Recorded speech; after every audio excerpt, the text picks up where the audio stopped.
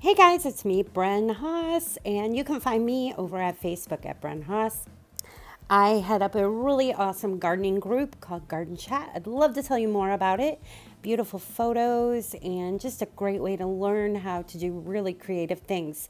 Today I'm going to show you really quick how to make a post on your Facebook profile page public so you can share over with groups. So I'm using my iPad mobile, but these directions can be used on most any mobile devices. Okay, so we're going to go over to our Facebook profile page where the image or the photo collection or the status update is that you would like to share publicly.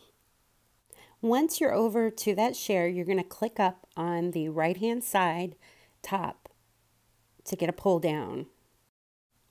Facebook pull down gives you the option to save the video, edit post, edit privacy, hide from timeline, delete, turn off notifications. We're going to hit edit privacy. Please note that once you hit public, this means anyone and everyone online can see the share which this makes it possible to be able to share in groups because not everyone in a group is your friend. Now, to tell that your post is now public, simply look right up by your name and the other post information at the top.